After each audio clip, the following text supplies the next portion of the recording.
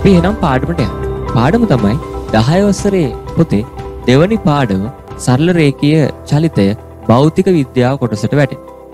සරල රේඛීය චලිතය ගැන අපි කතා කරනකොට සරල රේඛීය චලිතය. මොකද්ද සරල රේඛීය චලිතය කියන්නේ? ඔබ බලන්න මෙන්න මේ රේඛාව දිහා. මෙන්න මේ AB කියන රේඛාව දිහා බැලුවොත් AB කියන රේඛාව සරල රේඛාවක්. හරිද? එහෙනම් මෙන්න මේ වගේ සරලම සරල රේඛීයව සිදුවන චලිත ගැන අධ්‍යයනය කිරීම තමයි මේ පාඩමෙන් කරන්නේ. එතකොට මේ පාඩමේ පළවෙනි අනුමාත්‍රිකාව යටතේ ඔබට දීලා තියෙනවා දුරහා විස්ථාපනය කියන. දුරහා විස්ථාපනය කියන. එකක් දුර අනිත් එක විස්ථාපනය. මේ දෙකේ වෙනස්කම් මොකද්ද? ওই දෙක වෙනස්කම් මොකද්ද? හොඳට අහන් ඉන්න මේ කතාව. යම්කිසි ළමයෙක් මෙන්න මෙහෙම කතාවක් කියනවා. මම අද ගෙදර ඉඳලා ඉස්කෝලේට යද්දි ඉස්කෝලේට යද්දි මම ගියේ මෙන්න මේ වගේ පාරකින්. හිතන්න මේ තියෙන යාගේ ගෙදර මේ තියෙන යාගේ ඉස්කෝලේ. එයා කියනවා මම ගියේ මෙන්න මේ වගේ පාරකින්. මම මීටර් 240ක් දුර ගියා. මම මීටර් 240ක් දුර ගියා. ඒ ගෙදරම හිටපු තව ළමෙක් එයා කියනවා මම ඉස්කෝලේට ගියේ මේ වගේ පාරකින්. ඔන්න ඔය වගේ පාරකින් කියලා කියනවා. එයා කියනවා මම මීටර 200ක් ගියා. මම මීටර 200ක් ගියා. ඊළඟට තව ළමෙක් කියනවා ඔය දෙන්නා වගේ නෙමෙයි මම ගියේ මෙන්න මේ වගේ පාරකින්. මම ගියේ මේ වගේ හරි කෙලින් තියෙන පාරකින්. ඔන්නෝම හරි කෙලින්. මෙයා ගියේ මේ පාරෙන්, මෙයා ගියේ මේ පාරෙන්. මේ තියෙන පළවෙනි ළමයා. මේ තියෙන දෙවෙනි ළමයා. මේ තියෙන තුන්වෙනි ළමයා. මෙයා කියනවා මම ගියේ මේ වගේ හරි කෙලින් පාරකින්. හරි කෙලින්. එනේ සරල රේඛීව තමයි මම ගියේ. එහෙනම් මට ගියේ මීටර් 100යි. මට ගියේ කොච්චරද මීටර් 100. එහෙනම් ඔබට පේනවා ඇති මෙතන තියෙනවා මාර්ගයන් තුනක්. මාර්ගයන් තුනක් තියෙනවා. එකින් එකට වෙනස් අගයන් තමයි මේ මාර්ගයන් තුනට තියෙන්නේ. එකිනෙකට වෙනස් අගයන් තමයි මේ මාර්ග තුනට තියෙන්නේ. මේකත් දුරක් නේද? මේකත් දුරක්. මේකත් දුරක්. නමුත් ඔබ දන්නවා ඇති මේ 1 හා 2 කියන ළමයි දෙන්නට වඩා තුන්වන ළමයා තුන්වන ළමයා ගියපු දුර ගැන මොකද කියන්න පුළුවන්? ඒක අඩුයි. ඒ කියන්නේ මාර්ගය සරල රේඛීය වෙන්න වෙන්න ගමන් කරන දුර ප්‍රමාණය අඩු වෙන බව ඔබට තේරෙනවා. මාර්ගය සරල රේඛීයයිනේ. මේ මාර්ග වක්‍රය බලන්න. මාර්ග වක්‍රය. මේ දෙන්නම් වක්‍රය. මේක සරල රේඛීයයි. බලන්න මෙන්න මෙතන ඉඳලා A කියන ලක්ෂයේ ඉඳලා B කියන ලක්ෂයට මේ තුන් දෙනාම ගමන් කරලා තියෙන්නේ වෙනස් දුරවල්.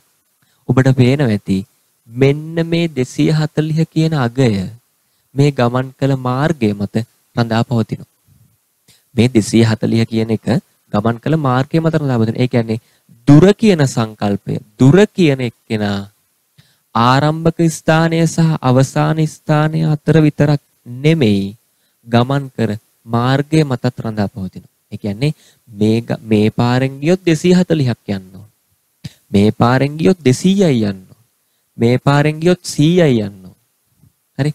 එහෙනම් දුර කියන එක ආරම්භක ස්ථානය සහ අවසාන ස්ථානය අතර පමණක් නෙවෙයි ගමන් කළ මාර්ගය මතත් දුර කියන එක රඳා පවතින. හරි. දැන් ඔබට පේනවා ඇති මේක වක්‍රාකාරයිනේ. මේක වක්‍රාකාරයි. දැන් බලන්න මෙයාගේ දිශාව මෙයා ඉස්සෙල්ලා මුහුණ දාගෙන මේ පැත්තට. ওই පැත්තට. මෙතනින් මුහුණ දාගෙන මේ පැත්තට. එහෙනම් මෙයා යද්දි මොකද වෙන්නේ? මෙයාගේ දිශාව නිතරම වෙනස් වෙනෝනේ. නිතරම වෙනස් වෙනෝනේ. එහෙනම් දුර කියන එකේ අපිට නිශ්චිත දිශාවක් ගැන කතා කරන්න බෑ. ඔන්න මම දුර ගැන ඔයගලන්ට කිව්වා. මොකද්ද විස්ථාපනය කියන්නේ? විස්ථාපනය කියලා කියන්නේ ඔබට පේනවා ඇති මේ මාර්ග තුනේ තියෙනව නේද? කෙටිම මාර්ගයක්. A සහ B කියන ලක්ෂ දෙක අතර තියෙන ඍජු මාර්ගය සරල රේඛීය මාර්ගය නැත්තම් කෙටිම මාර්ගය අපි කියනවා එකට විස්ථාපනය කියන. අපිට විස්ථාපනයට මෙන්න මෙහෙම අර්ථ දැක්වීමක් දෙන්න පුළුවන්. මොකද්ද කියන්න පුළුවන්? එක් ස්ථානයක සිට අනිත් ස්ථානයට. ඒ කියන්නේ එක් ස්ථානයක සිට තවත් ස්ථානයකට සිදුවන සරල රේඛීය ඈත්වීම කියලා කියන්න පුළුවන්. සිදුවන සරල රේඛීය ඈත්වීම. දැන් මේක සරල රේඛීයවනේ ඈත් වෙලා තියෙන්නේ. එහෙනම් සරල රේඛීය ඈත්වීම කියලා අපිට කියන්න පුළුවන්. ඒ වගේම මතක තියාගන්න දුර කියන එක ඔබට පේනවා ඇති නිශ්චිත දිශාවක් නැහැ. බලන්න. නිශ්චිත දිශාවක් නැහැ. නමුත් විස්ථාපනයට මොකක් තියෙනවද? නිශ්චිත දිශාවක් තියෙන බලන්න දැන්. එයා මේ පැත්තට විතරයි නිතරම මේ. ආ විස්ථාපන වල වෙන්නේ නිශ්චිත දිශාවක් තියෙනවා. එහෙනම් A සහ B කියන ලක්ෂ දෙක අතර ගමන් කළ හැකි කෙටිම දුර. ඊළඟට ඔබට පේනවා ඇති මේ රාශි දෙක අතර තියෙන වෙනස්කම. මොකද්ද වෙනස්කම?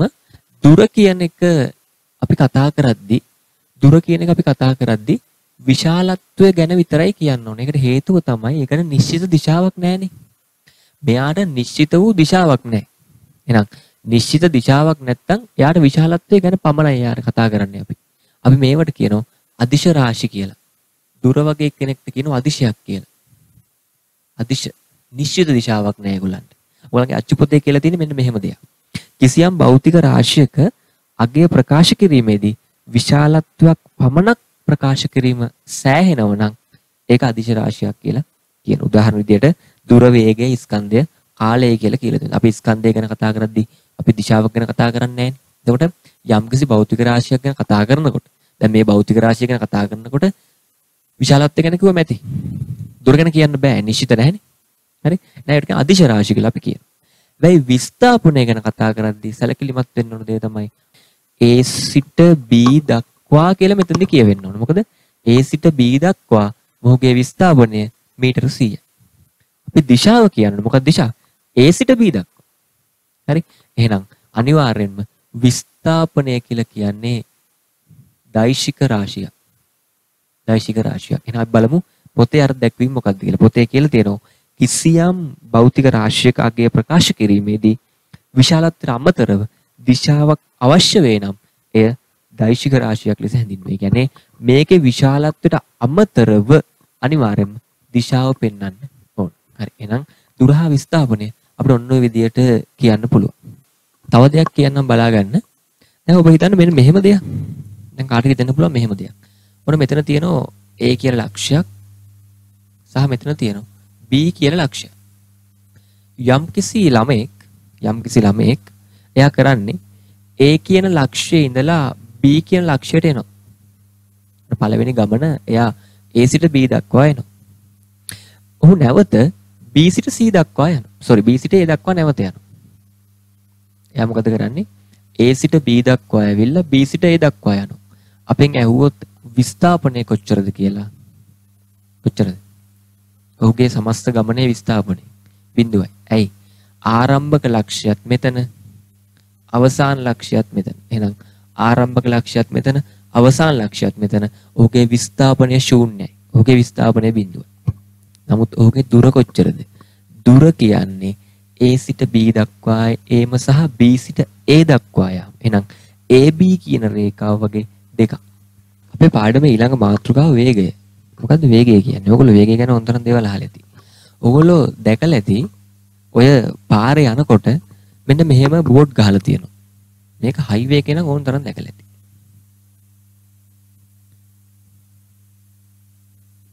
ඔහම ගහලා තියෙන දැකලා තියෙනවා. හරි.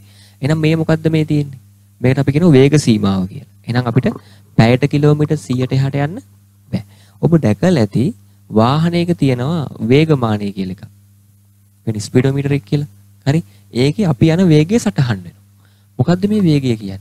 වේගය කියලා කියන්නේ ඒකක කාලයකදී ගෙවා යන දුර.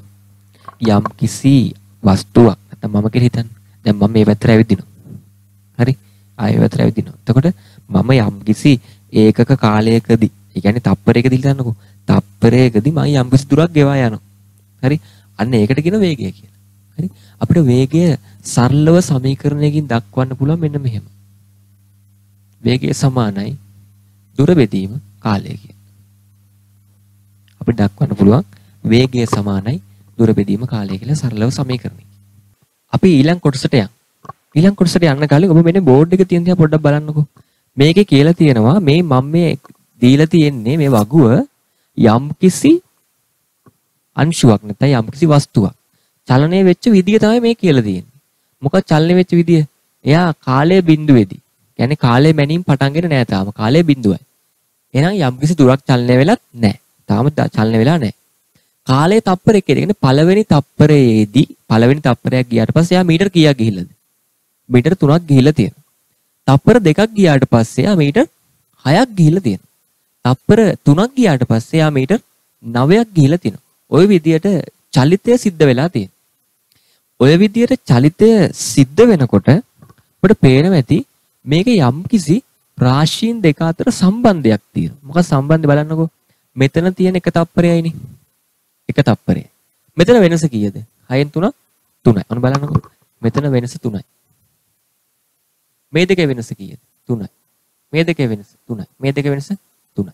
මෙතන තප්පර 1යි. මෙතන 1යි. මෙතන 1යි. මෙතනත් 1යි. එහෙනම් බලන්න යම් කිසි ඒකක කාලයකදී බලන්න ඒකක කාලයකදී යම් කිසි දුරක වෙනසක් සිද්ධ වෙලා තියෙනවා. මොකද වෙලා තියෙන්නේ? යම් කිසි ඒකක කාලයකදී දුරක වෙනසක් සිද්ධ වෙලා තියෙනවා. මෙතන. ඒකක කාලයකදී සිදුවන දුරෙහි වෙනස් වීමට අපි කියනවා වේගය කියලා. එහෙනම් අපිට මේකේ වේගය අපිට කියන්න පුළුවන් තත්පරයකට මීටර කීයක්ද? 3යි. බලන්නකෝ. තත්පරයකට මීටර 3යි. තත්පරයකට මීටර 3යි. තත්පරයකට මීටර 3. එහෙනම් ඔබට පේනවා ඇති මේ වස්තුව නැත්නම් මේ මේ කාර් එක කියලා හිතන්නකෝ. මේ කාර් එක නියත වේගයෙන් යන්නේ. ඇයි නියත වේගෙන් කියන්නේ? හැම තප්පරයකටම වෙනස් වෙන්නේ මීටර කීයද? 3යි. හැම තත්පරයකටම වෙනස් වෙන්නේ මීටර 3යි. එහෙනම් මේක යන්නේ නියත වේගය. අපි කියනවා නියත වේගය කියලා. ඒ කියන්නේ හරියට ඕගොල්ලෝ මේ වාහනේ යද්දි ස්පීඩෝමීටර් එක දිහා බලන්නකෝ. ඒක පැයට කිලෝමීටර් 40 නියතව තියෙනවනම් පැයට කිලෝමීටර් 40 අර මෙහෙම තියෙන ස්පීඩෝමීටරේ කටුව ওই විදිහට පැයට කිලෝමීටර් 40 නියතව තියෙනවනම් අන්න එහෙනම් නියත වේගයෙන් තමයි වාහනය ධාවනය වෙන්නේ වෙලාවේ. හරි? එහෙනම් අපිට වේගය ගැන ওই විදිහට කියන්න පුළුවන්. වේගය සමානයි දුර බෙදීම කාලයකි. වේගය සමානයි දුර බෙදීම කාලය කියලා ගන්න පුළුවන්. හරි? එතකොට දුර බෙදීම කාලය කියන එකෙන් බලන්න අපිට ඒකකය ගන්න පුළුවන්. කොහොමද ඒකකය ගන්නෙ? දුරේ SI එකකය මීටර කාලයේ SI එකකය තප්පර. එහෙනම් තත්පරයට මීටර් කියලා අපිට ගන්න පුළුවන්. මොකද තප්පර කියන එක උඩට ගියන් පස්සේ තත්පරයට වෙනවා. දර්ශක මතක ඇතිනේ නේ. ගණිතේ. එතකොට තත්පරයට මීටර් බවට පත් වෙනවා. වේගයේ ඒකක. තව දෙයක් කියන්න ඕන මේකේ ඔබට පේනවා ඇති වේගය ගණනය කරද්දී මේ වස්තුව යන දිශාව අපිට වැදගත් නැහැ. අපිට මේක මොන විදියට යනවද ඒ කියන්නේ ඔබ හිතන්න මේක වක්‍රාකාර මාර්ගයක යනවද සරල රේඛීය මාර්ගයක යනවද කියන එක අපිට අදාළ නැහැ. මොකද දුර කියන්නේත් අදිශ රාශිය.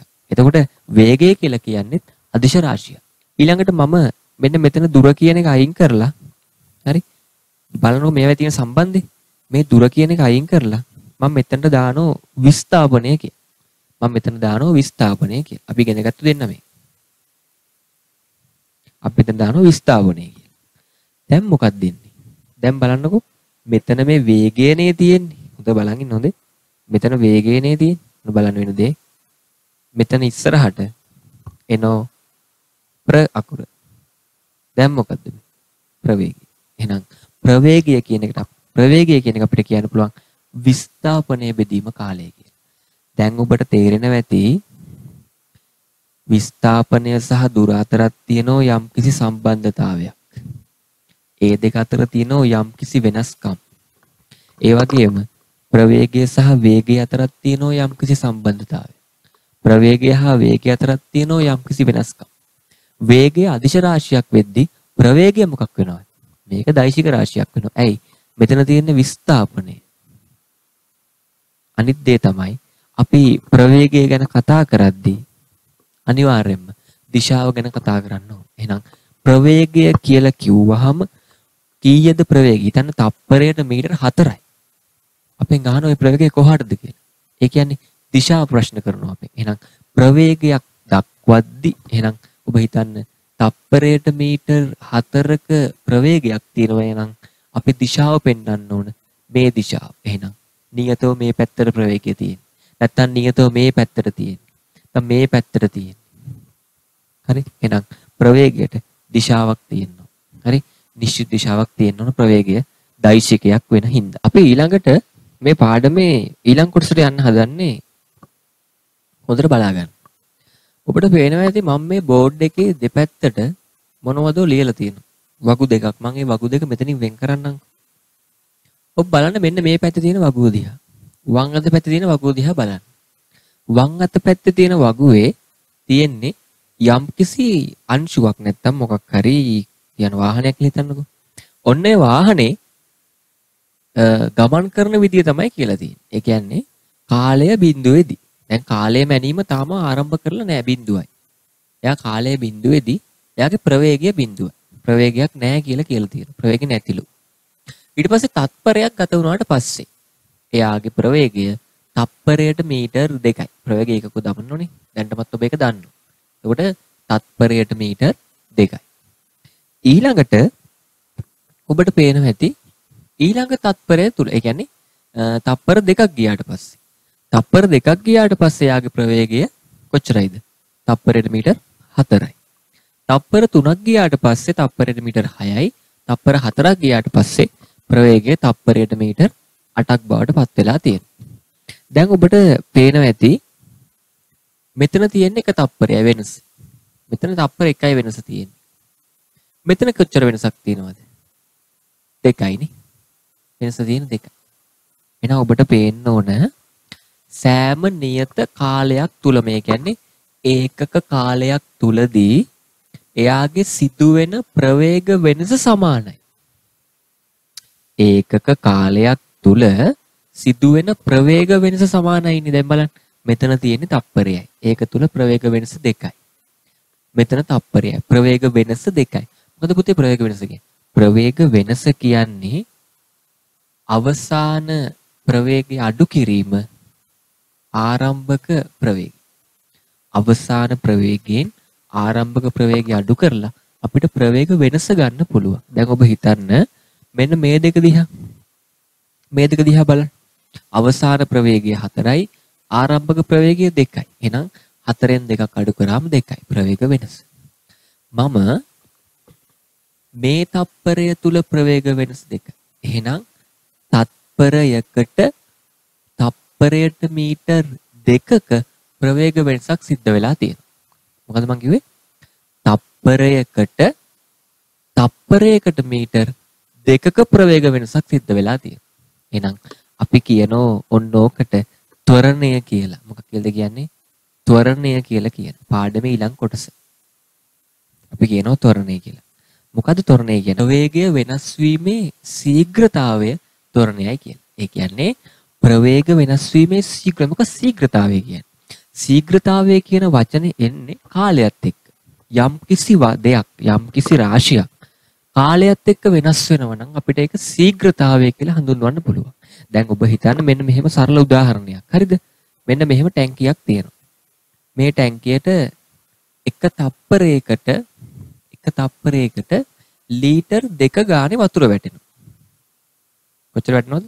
එක තත්පරයකට ලීටර් දෙක ගානේ වතුර වැටෙනවා. එහෙනම් වතුර වැටීමේ ශීඝ්‍රතාවය තප්පරයකට ලීටර් දෙකයි. තොරණයට සමීකරණයක් ලියන්න පුළුවන්.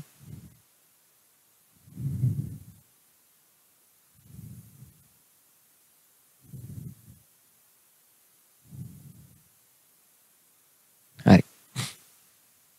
මොකද්ද මේ ගත වූ කාලය කියන්නේ? ගත වූ කාලය කියන්නේ මෙන්න මේ ප්‍රවේග වෙනස සිද්ධ වෙන්න කොච්චර කාලයක් ගත වුණාද කියන එක. එහෙනම් ප්‍රවේග වෙනස බෙදීම ගත වූ කාලයෙන් නැත්තම් කාලයෙන් අපිට ගන්න පුළුවන් ත්වරණය කියන එකට උත්තරේ. බලන්නකෝ අපි මේ ගාන හැදුවොත් ප්‍රවේග වෙනස බලන්න.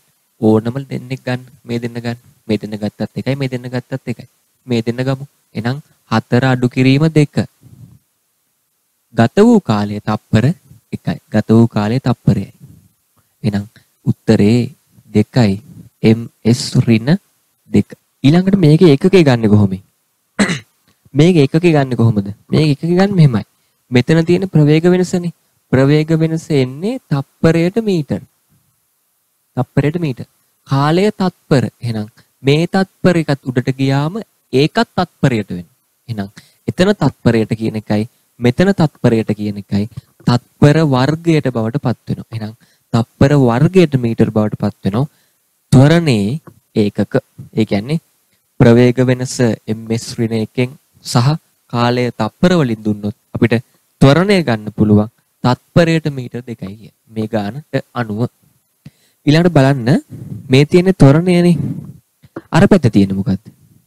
ඒ පැත්තේ තියෙන වෙනස් දෙයක් බලන්නකෝ. ඒ පැත්තේ බිඳුව ඒ කියන්නේ කාලය මැනීම පටන් ගනිත් එයාට ප්‍රවේගයක් තියෙනවා. ඔබට පේනවා ඇති. කලින් එහෙම නෑනේ. කලින් කාලය මැනීම පටන් ගන්නදී ප්‍රවේගයක් නෑමේ. හැබැයි දැන් තියෙන ප්‍රවේගයක්. හරි? දැන් ප්‍රවේගයක් තියෙනවා. ඒ කියන්නේ මෙන්න මෙහෙම දෙයක්. දැන් මේ මේ අංශුව වේගෙන් එන අංශුවක් මෙහෙම. වේගෙන් යන වාහනයක් එලිට. වේගෙන් යන වාහනයක් එන්න එන්න ප්‍රවේගය මොකද වෙන්නේ? එන්න එන්න ප්‍රවේගය අඩු වෙනවා. හරි? කාලය ගත වෙන්න ගත වෙන්න ප්‍රවේගය අඩු වෙනවා. එහෙනම් ප්‍රවේගය අඩු වෙනවා කියලා කියන්නේ වාහනයක් නම් අපි කියනවා බ්‍රේක් ගන්නවා. හරි? එහෙනම් වාහනේ කාලය පැණි පටන් ගන්නකොට පැඩ් තප්පරයට මීටර් 12ක ප්‍රවේගයක් තියෙනවා. හරි? හිතන්න මේක තප්පරයට මීටර් කියලා. හරි? මම ඒකකේ දාලා නැහැ. තප්පරයට මීටර කියලා හිතන්න. එතකොට 12ක ප්‍රවේගයක් තියෙනවා. ඊළඟ තප්පරයක්දී 10 බවට පත් වෙනවා. ඊළඟ තප්පරයක්දී 8 බවට පත් වෙනවා. ඔහොම ඔහොම ඔහොම ගත වෙද්දී එන්න එන්න ප්‍රවේගය අඩුවීමක් සිද්ධ වෙනවා. හරි? එහෙනම් අපිට මෙතෙන්දි එන උත්තරේ ඍණයි. ඒ කියන්නේ අපි මෙතන ත්වරණය හෙව්වොත් බලන්නකෝ ත්වරණය හෙව්වොත් ප්‍රවේග වෙනස් අන්න හොඳේ ප්‍රවේග වෙනස් බලන්න 10 අඩු කිරීම 12 හැමතිස්සෙම මතක තියාගන්න ප්‍රවේග වෙනස ගන්නේ අවසාන ප්‍රවේගය අඩු කිරීම ආරම්භක ප්‍රවේගය. ඒක අනිවාර්යයි. එහෙම තමයි ගන්න ඕනේ. එතකොට අවසාන ප්‍රවේගය මෙතන 10යි ආරම්භක ප්‍රවේගය 12යි. මේ අවසාන කියලා කතා කරන්නේ මෙයා නෙමෙයි හොඳේ. මෙයා ගන්නත් පුළුවන්. මෙයා මෙයාගෙන් අඩු කරොත් බෙදන්න ඕන මේ සමස්ත කාලේ. හරි? මම ගන්න මේ එක ළඟ දෙන්නෙක්. එතකොට ලේසියිනේ. හරි? මෙයාගෙන් මෙයා අඩු කරොත් මෙතන කාල වෙනසෙන් බෙදන්න ඕන. මෙතන කාල වෙනස කීයද? එකයි. තප්පරයන ගිහින් තියෙන්නේ. එහෙනම් එකයි. එහෙනම් මෙතන බලන්න ඍණ දෙකයි. ඍණ දෙකයි ms ඍණ දෙක වෙනවා. දැන් මාර වැඩි. ඇයි ඒ? තොරණය ඍණ වුණා. තොරණය ඍණ වුණා. මොකක්ද ඔකට කියන්නේ? තොරණය ඍණ වුණාම අපි කියනවා ඒක මන්දනය කියලා. වාහනයක් වේගෙන් ඇවිල්ලා එකපාරට බ්‍රේක් එක ගහනවා මෙහෙම. බ්‍රේක් එක අල්ල ගන්නවා. බ්‍රේක් එක ගැහුවන් පස්සේ වාහනේ මොකද වෙන්නේ? එන්න එන්න ස්ලෝ වෙනවා. ස්ලෝ වෙලා ස්ලෝ අන්තිමට නතර වෙනවා. අපි කියනවා වාහනය මන්දනය වෙලා නවතිනවා කියන මන්දනය වෙලා නිශ්චලතාවයට පත් වෙනවා කියලා කියනවා. මෙතන මොකද්ද වෙන්නේ? මෙතන වෙන්නේ ඇක්සලරේට් කරන වාහනේ. අපි කියන්නේ ඇක්සලරේට් කරනවා කියලා. හරි? ඒ කියන්නේ වාහනේ ඉස්සරහට පිකප් කරලා ගන්නවා ඇක්සලරේටරේ අල්ලලා මෙහෙම නැත්නම් පාගල නැත්නම් මෙහෙම අල්ලලා බයික් එකක් නම් මෙහෙම අල්ලලා ඇක්සලරේට් කරලා ගන්නවා ඉස්සරහට. මේ තියෙන්නේ එහෙම අවස්ථාවක්. මේ තියෙන්නේ වේගෙන් එන වාහනයක් මන්දනය කරන එකක් බ්‍රේක් කරලා. හරි?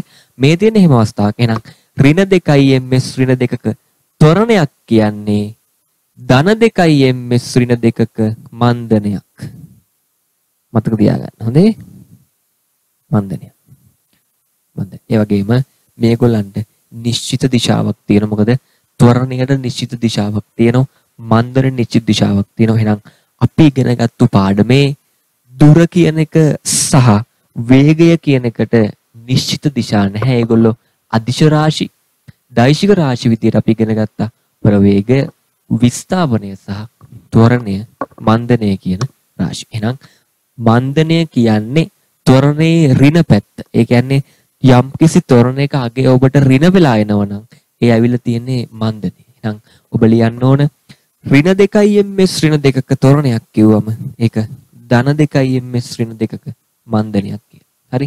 අනිත් එක මතක තියාගන්න මෙන්න මෙතන තියෙන කාරණාව මෙතන ඔබට පේනවා ඇති තප්පරෙන් තප්පරේ තප්පරෙන් තප්පරේ යද්දී නියතව තමයි ප්‍රවේග වෙනස තියෙන්නේ.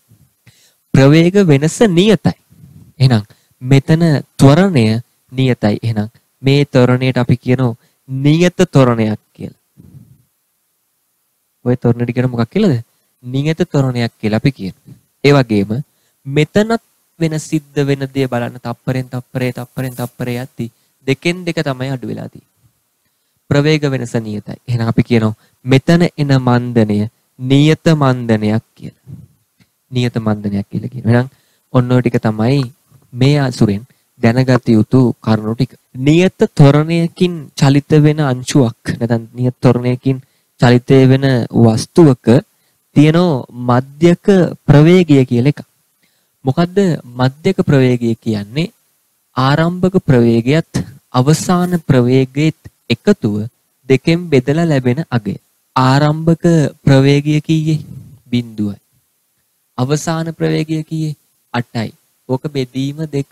එහෙනම් මධ්‍යක ප්‍රවේගය මධ්‍යක ප්‍රවේගය ගන්න පුළුවන්. බිඳුව ධන 8 බෙදීම දෙක කියන්නේ 4යි. ms ඍණ 1 මධ්‍යක ප්‍රවේගයනේ ms ඍණ 1 වෙනවා. හරි? දැන් ඇයි මේ මධ්‍යක ප්‍රවේගය හෙව්වේ? නියත තොරණයෙන් චලිතය වන වස්තුවක විස්ථාපනය හොයන්න අපිට මධ්‍යක ප්‍රවේගය භාවිතා කරන්න පුළුවන්. ඒ කොහොම ඒක භාවිතා කරන්නේ? ඒක භාවිතා කරන්නේ මෙහෙමයි. මධ්‍යක ප්‍රවේගය ගත වූ කාලයෙන් ಗುಣ කරාට පස්සේ අපිට විස්ථාපනය එනවා. ඒ කියන්නේ නියත තොරණයෙන් චලිත වන වස්තුවේ විස්ථාපනය සිදු කළ සමස්ත විස්ථාපනය අපිට ගන්න පුළුවන් මධ්‍යක ප්‍රවේගය ಗುಣ කිරීම කාලය ගත වූ කාලය. මෙතන මධ්‍යක ප්‍රවේගය 4යි ගත වූ කාලය තත්පර 4යි. එහෙනම් මීටර 16ක විස්ථාපනයක් සිද්ධ කරලා තියෙනවා. අපි පාඩමේ ඊළඟ තැනට යන් පාඩමේ ඊළඟ කොටස ගැන කතා කරද්දී ඒකේ තියෙනවා විස්ථාපන කාල ප්‍රස්ථාර ප්‍රවේග කාල ප්‍රස්ථාර. විස්ථාපන කාල ප්‍රස්ථාර කියන්නේ මොකක්ද?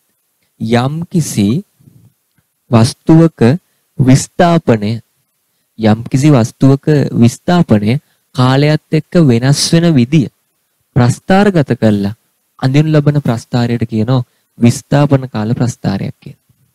එහෙනම් අපි මෙන්න මේක දිහා පොඩ්ඩක් බැලුවොත් ඔබට පේනවා ඇති කාලය උඩ අක්ෂය තුල තියෙන විස්ථාපනය යට අක්ෂය තුල තියෙන. එතකොට මෙන්න මේ විස්ථාපන කාල ප්‍රස්ථාරය අපි මේක ඇසුරෙන් අඳින්නේ කොහොමද කියලා බලමු. මේක ඇසුරෙන් විස්ථාපන කාල ප්‍රස්ථාරය අඳිද්දී අපි ඉස්සෙල්ලම xy අක්ෂ පද්ධතිය ඇඳ ගන්න ඕන.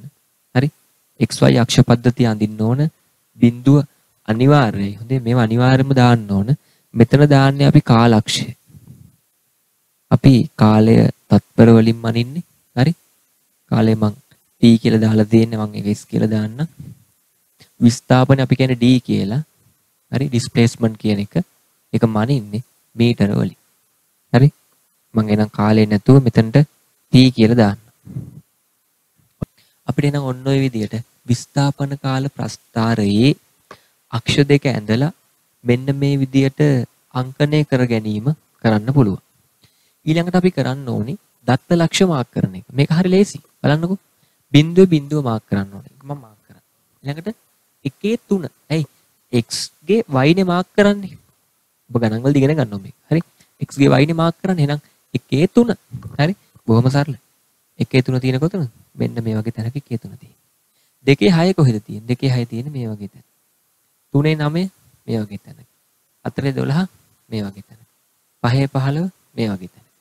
කොහොමනේ ප්‍රස්ථාරදී? එහෙනම් අපිට ප්‍රස්ථාරේ ඔන්න ඔය විදියට ඇඳ ගන්න පුළුවන්. ඊළඟට මේකේ තියෙන විශේෂ කාරණා කීපයක් ඒ ටික කියන්න ඕන ඕගලන්ට. බලන්න ආ මේක මෙතනටත් යා වෙන්න ඕන බිඳුව බිඳුවක් තියෙනවනේ. ඔය විදිහට යා වෙන්න ඕන. හරිද? ඕගලන්ට පේනවා ඇති මේකේ කාලය බිඳුවේදී විස්ථාපනය කීයද? විස්ථාපනය බිඳුව. ඉතින් කාලය බිඳුවේදී කිසිම විස්ථාපනයක් සිද්ධ කරලා නැහැ. හරි? ඒ වගේම තමයි ඔබට පේනවා ඇති මේක x අක්ෂයත් එක්ක යම්කිසි අනුක්‍රමණයක් තියෙනවා. යම්කිසි බෑවුමක් තියෙනවනේ. අනුක්‍රමණයක් තියෙනවනේ. අපි කොහොමද අනුක්‍රමණය ගන්නෙ? අනුක්‍රමණය ගන්නෙ ඔබ දන්නෝ y කණ්ඩාංක අතර වෙනස බෙදී y කණ්ඩාංක අතර වෙනස බෙදීම x කණ්ඩාංක අතර වෙනස. අනුක්‍රමණය කියන්නේ. මොකද්ද y කණ්ඩාංක අතර වෙනස කියන්නේ? y කණ්ඩාංක අතර වෙනස කියන්නේ මේ ඕනම කණ්ඩාංග දෙයක් අතර වෙනස. මේක හෝ මේක නැත්නම් මේක මේක මේක මේක කැමැති කණ්ඩාංග දෙයක් අතර වෙනසක්. ඒ කියන්නේ විස්ථාපනයක් නේද? බලන්න. ඒ කියන්නේ විස්ථාපනයනේ. y කණ්ඩායම් අතර වෙනස කියන්නේ විස්ථාපනයමේ. x කණ්ඩායම් අතර වෙනස කියන්නේ මොකද්ද? ඒ කාලය. එහෙනම් y කණ්ඩායම් අතර වෙනස කියන්නේ විස්ථාපනය. ඒ වගේම x කණ්ඩායම් අතර වෙනස කියන්නේ කාලය. අපිට පේනවා ඇති විස්ථාපනය බෙදීම කාලය. අපි කලින් ඉගෙන ගත්ත මොකද්ද මේ? ප්‍රවේගය. මේකම නේද අනුක්‍රමණය කියලා කියන්නේ. ඕකමනේ අනුක්‍රමණය කියලා කියන්නේ. එහෙනම් මතක තියාගන්න විස්ථාපන කාල ප්‍රස්ථාරයක අනුක්‍රමණයෙන් නිරූපණය කරන්නේ ප්‍රවේගය. හිතන්න මෙයා කාලය බිඳුවේදී ප්‍රවේගය බිඳුවයි. ඔබට පේනවා ඇති ප්‍රවේගය බිඳුවයි කියලා කියන්නේ මේ අංශුව කාලය මැනීම ආරම්භයේදී නිශ්චලතාවයෙන් තමයි පටන් ගෙන තියෙන්නේ. මතු තියාගන්න වස්තුවක ප්‍රවේගය බිඳුව නම්. හරි. වස්තුවක ප්‍රවේගය බිඳුව නම් එයා නිසලයි. කාලය බිඳුවේදී බිඳුවයි. එකේදී 3යි, දෙකේදී 6යි, තුනේදී 9යි. ඔය විදිහට. ඔබට පේනවා ඇති ඔය විදිහේ මේක ලකුණු කරොත් ඔය විදිහේ ප්‍රස්ථාරයක්මයි ඇඳෙන්නේ. වෙනසක් මම මෙයා කියන්නේ වෙනස් කරේ නෑනේ. නමුත් මම රාශින් දෙක වෙනස් කරා. මේ අක්ෂයේ තියෙන ප්‍රවේගය. මේ අක්ෂයේ තියෙන කාලය. ඔබට පේනවා ඇති මේකෙත් තියෙන යම්කිසි අනුක්‍රමණයක්. යම්කිසි අනුක්‍රමණයක් තියෙනවා. අනුක්‍රමණය ගන්නේ y කණ්ඩායම් අතර වෙනස බෙදීම x කණ්ඩායම් අතර වෙනස. එහෙනම් y කණ්ඩායම් අතර වෙනසක් කියන්නේ ප්‍රවේග වෙනසක්. x කණ්ඩායම් අතර වෙනස කියන්නේ කාලයක්. එහෙනම් අනුක්‍රමණය කියන එක අපිට ගන්න පුළුවන් ප්‍රවේගය බෙදීම කාලය කියලා. ඇයි?